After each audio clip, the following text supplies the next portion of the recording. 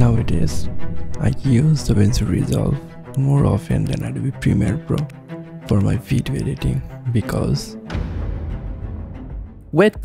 Before that, I have to share why I was skeptical about switching my NLE in the first place. I have been using Adobe Premiere Pro from the first day of my video editing journey since 2016. Premiere Pro has been my on and only companion. I have edited thousands of videos in Adobe Premiere Pro. I saw everyone is switching to DaVinci Resolve, but I was really scared of node-based video editing process.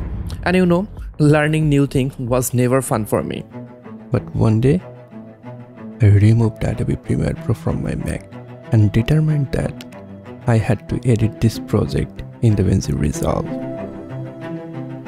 And guess what? There is so much frustration. Literally, I was searching for how to cut a clip in Resolve, how to disable nodes, how to EQ an audio, how to color grade, blah blah blah.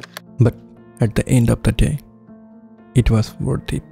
So today, I'll share the features I like the most in Resolve over Adobe Premiere Pro. Let's start with the basic. Resolve doesn't make individual project like Adobe Premiere Pro. Rather, it keeps all the projects inside a database and they call it project library. So whenever you open Resolve, it will show the previous project that you have worked on and making new project pretty easy. Just click on the new project and name it. That's it. You don't need to select the project location every single time. Just like that, we need to be very efficient when we edit. I'd like to thank Motion Array for sponsoring this portion of this video. Here you have seen I have used cool looking titles, lower thirds, transitions and stock footages. I got it all from Motion Array. No matter which application you use, what you need, stock footages, photos, video templates, preset, music, sound effect, graphics and plugins. It covers everything. Also the quality of assets are top notch and they are adding new assets every single day. I love the fact that I don't need to go to different websites for my video assets. I'm getting everything in one place which is www.motionarray.com. For your personal or business use, I'll highly recommend their affordable subscription. If you buy their annual subscription, you'll get $50 discount. Click the first link in the description to get more details. Next one is importing file into projects. Premiere Pro has a very laggy importing interface. It takes forever to import 20 or more video files simultaneously. For Resolve, it is very smooth and fast. In the beginning, I was really struggling to search the different panels in the Resolve. Indeed, Premiere Pro will give you more flexibility in terms of customization. You can organize the panels as you like in Adobe Premiere Pro. For Resolve, you have very minimal customization option.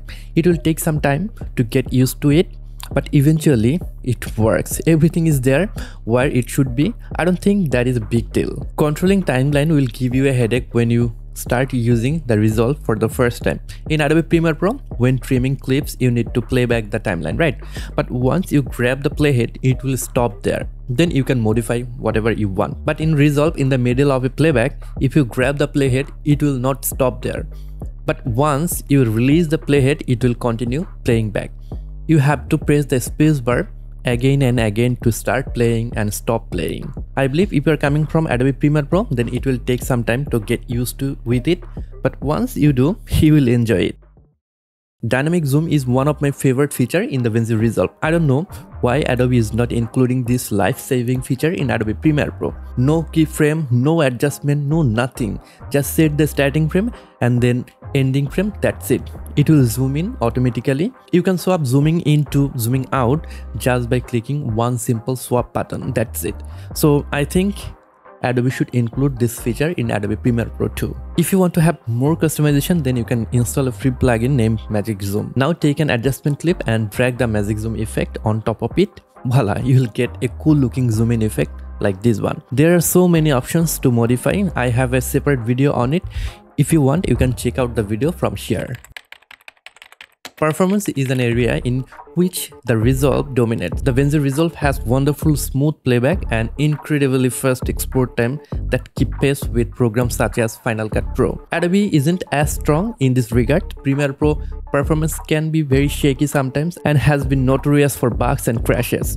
Resolve experience is very smooth. It crashed once while I was working, but it didn't lose anything. The life-saving feature works like a charm.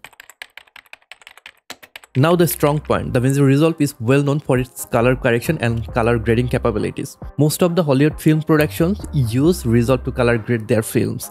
It will take some time to master the node-based color grading process. However, doing the basic correction and grading is very easy to learn. Once you dive into the Resolve color page, a new world will open for you to learn and experiment. And trust me, it will not disappoint you. Lastly, I would say if you are very new to video editing, DaVinci Resolve will be a perfect choice for you. You can download and start using it for free as long as you want.